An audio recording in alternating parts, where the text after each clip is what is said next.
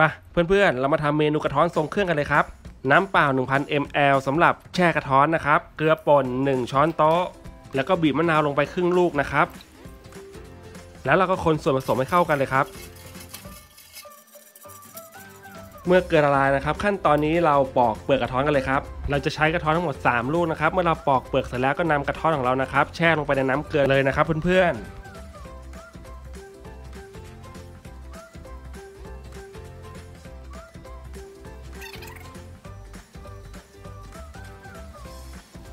เราก็จะแช่กระท้อนของเราในน้ำเกลือ 2 ชั่วโมงนะครับเพื่อล้างยางออกจากกระท้อนของเรานะครับและก็เพื่อไม่ให้เนื้อกระท้อนของเราดำและก็เนื้อนุ่มด้วยนะครับเพื่อนๆอีก 2 ชั่วโมงเจอกันนะครับขั้นตอนนี้นะครับเรามาทำน้ำเชื่อมสำหรับราดเนื้อกระท้อนกันเลยครับ น้ำเปล่า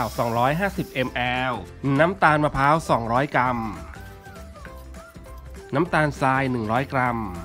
เกลือป่นครึ่งช้อนโต๊ะ แล้วก็ให้เราเคี่ยวน้ำตาลของเราจนข้นเหนียวเลยนะครับเพื่อนๆ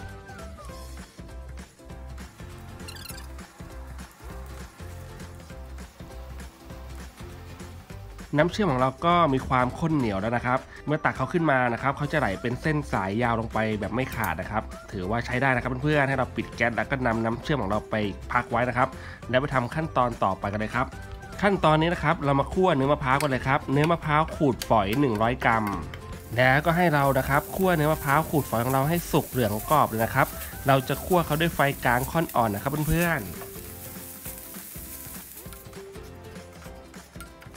เราก็คั่วมะพร้าวขูดฝอยของเรานะครับ จนแห้งสุกเหลืองกรอบแล้วนะครับนำมะพร้าวของเราไปพักไว้นะครับ แล้วไปทำขั้นตอนการคั่วกุ้งแห้งกันต่อเลยครับเพื่อนๆกุ้งแห้ง 3 ช้อนโต๊ะ เราก็จะคั่วกุ้งแห้งของเรานะครับ ให้สุกหอมเลยนะครับเพื่อนๆเมื่อเราคั่วกุ้งแห้งจนสุกหอมนะครับ ก็ให้เรานำกุ้งแห้งไปพักไว้นะครับ แล้วเราจะพักทุกอย่างไว้นะครับ จนกว่ากระท้อนของเราจะแช่ น้ำเกลือครบ 2 ชั่วโมง แล้วเราก็จะจัดเสิร์ฟนะครับเพื่อนๆ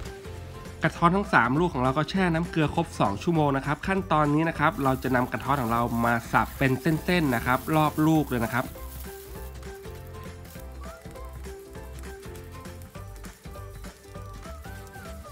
เมื่อเราสับกระท้อนของเราเสร็จนะครับ เราจะนำกระท้อนของเราไปกดให้แบนนิดนึงนะครับ เพื่อให้เห็นรอยสับนะครับ เพื่อเวลาเราเทน้ำเชื่อมลงไปจะได้ซึมเข้าไปสู่ข้างในได้นะครับเพื่อนๆ ก็จะกดแบนประมาณนี้นะครับเพื่อนๆ เดี๋ยวเรานำอีก 2 ลูกมาสับ แล้วก็กดเขาให้แบนกันให้เสร็จเลยนะครับ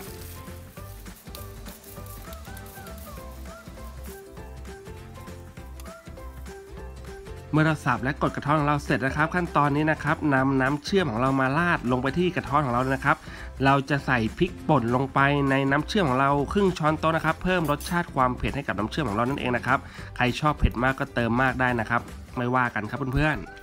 แล้วก็ให้เราคนให้เข้ากันนะครับ แล้วเราก็จะราดน้ำเชื่อมของเราลงไปที่เนื้อกระท้อนส่วนหนึ่งก่อนนะครับ แล้วก็ตามด้วยเนื้อมะพร้าวคั่วแล้วก็กุ้งแห้งของเรานะครับ ใส่ลงไปเลยครับ ใส่เนื้อมะพร้าวคั่วลงไปพอประมาณนะครับเพื่อนๆไม่ต้องใส่ลงไปหมดนะครับ จัดตกแต่งให้สวยงามครับ ตามด้วยกุ้งแห้งเลยครับ และก็ตามด้วยถั่วลิสงคั่วบุบหยาบๆนะครับประมาณ 1 ช้อนโต๊ะพูนๆเพิ่มความเข้มข้นกับน้ำเชื่อมของเรานั่นเองนะครับ แล้วก็ให้เราราดน้ำเชื่อมลงไปอีกทีนึงนะครับ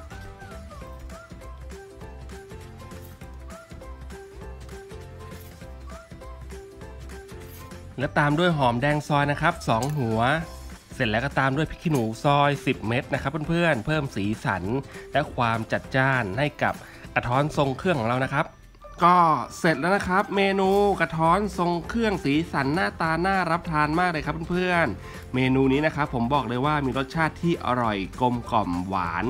เนื้อกระท้อนก็ไม่ฝาดและก็นุ่มด้วยนะครับเพื่อนๆเมนูนี้นะครับเพื่อนๆก็สามารถไปทำทานกันได้ในครอบครัวนะครับเป็นเมนูยามว่างได้เลยนะครับหรือจะนำสูตรโฆษณาไปทำขายสร้างอาชีพให้กับครอบครัวก็ได้นะครับ วันนี้นะครับผมต้องขอตัวไปรับทานเมนูกระท้อนทรงเครื่องก่อนนะครับ วันนี้สวัสดีครับ สุดยอดมากครับ เมนูนี้อือหืออร่อยทะลุจอเลยครับ